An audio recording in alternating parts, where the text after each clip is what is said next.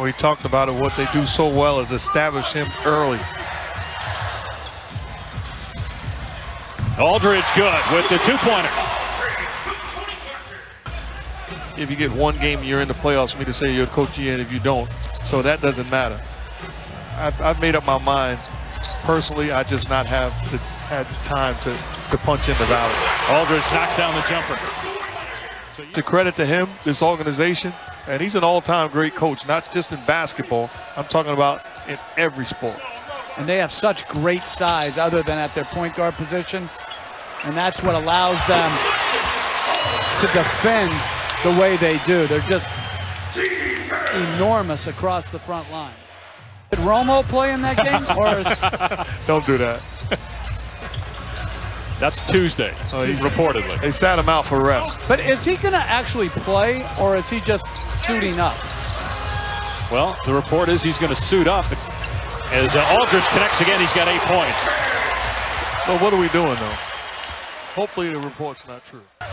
It's an absolute impossible situation. Aldridge through the lane, having a terrific opening quarter. He's got 10 points, five of eight from the field, and the Spurs have a three-point lead.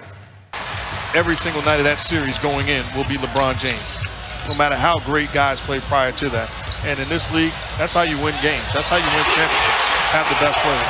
Great spin and finish by Aldridge. He has 12. Clippers lead by 11. All right, I'm going to tell you this, though. But my going back to my playing days, since we talked about Mark, I saw on that HBO special, Kia Nurse rip one of your uh, practice players. And I'm like, take it now. She's my favorite player on your team. Now Griffin has been on a tear of late. Three straight 30-point games. That ties a career high. But held to just four points tonight, yet they lead by seven. Aldridge falling away on the baseline. He's got that move down. Corralled that, but Jordan gets the rebound. Now Griffin. Nice play by Aldridge defensively. An all-time great point guard, even if he does not win a title. To me, that's a no-brainer. He absolutely is. I'd like to know your, your, your feelings on it. Absolutely. The Wendy's double. Aldridge gets that one to spin home, and it's back to a 10-point game.